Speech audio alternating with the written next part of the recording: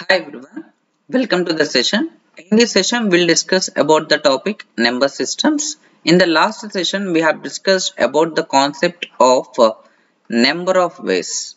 We have discussed about the concept of number of ways. Uh, now, I will explain the problems related to number of ways, uh, how to solve the big number of ways for big numbers. For small numbers, it is very easy to write down. For big numbers, how to calculate the number of ways. I will take a one by one example in this session. See here, first question. Here, the concept is in how many ways? Basically, the format of asking the question. In how many ways? In how many ways? 132 132 can be expressed can be expressed as a product of as a product of two factors as a product of two factors. This is a general format uh, in which he will ask the question. This is a general format. In how many ways 132 can be expressed as a product of uh, two factors? Uh, sometimes if the perfect squares are given then uh, there is a chance of asking product of two different factors also so you must be aware of that particular statement whenever perfect squares are given. Whenever perfect squares are given you must be in a position to see this particular statement carefully as a product of two factors or as, as a product of two different factors. Why? Because uh, when we are uh, getting odd number of factors for any perfect square there are two cases. One is uh, as a product of two factors and the another one is as a product of two different factors right? So because of that reason you must be in a position to observe this particular statement carefully okay? Here 132 is not a perfect square. Now we will calculate how to solve this particular problem by using number of uh, factors okay? First step is the common step uh, for each and every problem that is finding of number of factors and that too how to calculate number of factors. Once again i will repeat here because uh, in the last session already we discussed but again uh, to calculate number of ways number of factors are important. Here 132 can be expressed as a product of uh, fact as a product of prime factors okay? We can write this number as it is divisible by 2 right? 2 into 6 times 6 times again it is divisible by. Here 66 is not a prime number. Again it is divisible by 2 2 into 33 again it is divisible by 3 3 into 11 now if you observe 2 2 3 11 all these are prime numbers. We can write this 132 as 2 square into 3 power 1 into 11 power 1 that is uh, 132 first step is completed. Find uh, writing the given number in terms of prime factors. That is completed. And the second step is number of factors. Once the prime factors is completed number of factors is very simple.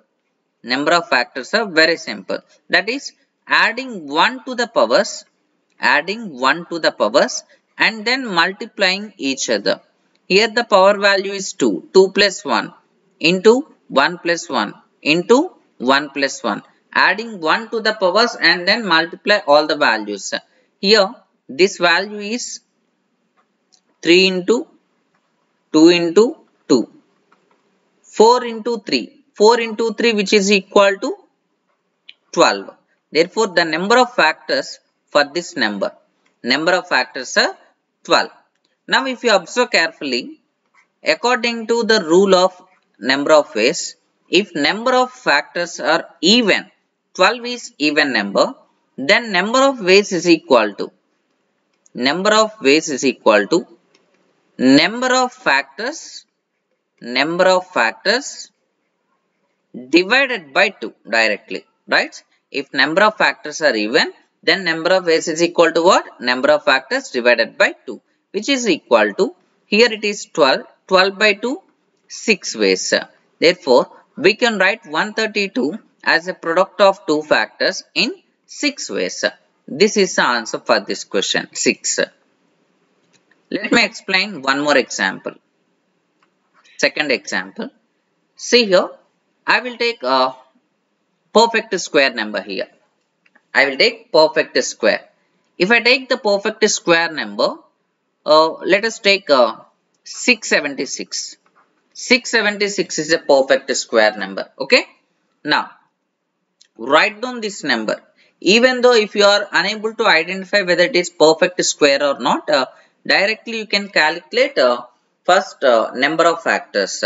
Once you are getting odd number of factors, definitely that is a perfect square number. Okay. In that way also you can calculate. It is not mandatory whether that particular number is perfect square or not. First calculate directly number of factors. How can I write this number? Here we can write this number as 26 into 26. 26 into 26. Here 676 is a perfect square of 26. Therefore, which is equal to again we can write 26 as 2 into 13 and again one more 26 is there. This 26 also 2 into 13. Therefore, which is equal to 2 square into 13 square. 2 square into 13 square. 2 is a prime number, 13 is a prime number. So, first step is completed that is writing the given number in terms of prime factors. First step is completed successfully. Once it is done, you need to calculate number of factors. You need to calculate number of factors. Number of factors is very simple. Adding 1 to the powers and then multiply each other.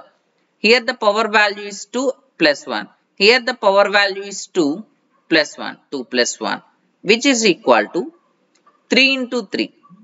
3 into 3 is equal to 9. 9 factors. Number of factors for the number 676 which is equal to 9 factors. Okay. Here if you observe carefully number of factors are odd. Number of factors are odd. Now whenever you are getting number of factors are odd, first check it out the question is as a product of as a product of two factors as a product of two factors or else as a product of as a product of two different factors. Check it out that statement in the given question. In case in the given question, it is as a product of two factors. As a product of two factors. Then directly number of ways is equal to number of ways is equal to number of factors plus 1 by 2. Number of factors plus 1 by 2 which is equal to 5 ways. Which is equal to 5 ways. In case as in the given question, the statement is as a product of two different factors. As a product of two different factors. Then number of ways is equal to. Number of ways is equal to 9 minus 1 by 2. 9 minus 1 by 2 which is equal to 4 ways. Which is equal to 4 ways. In this way, we can calculate a number of factors and number of ways. In the last sessions, I already explained about number of factors and uh, previous session and this session we discussed about uh, number of ways. But you must be aware of uh, number of factors. Why? Because to calculate number of ways, it always depends on number of factors. Without knowing how to calculate number of factors, it is not at all possible to solve the problems related to number of ways. And not only number of ways uh, based on number of factors uh, so many applications are useful in number systems topic. So finding of number of factors is very important and writing the given number in terms of prime factors that is also very important. Guys uh, i think number of ways concept as well as examples you are in a position to understand all the problems uh, this is the way of doing the problems related to number of uh, ways. guys, I hope you enjoyed that session. Thank you. Thank you very much for watching.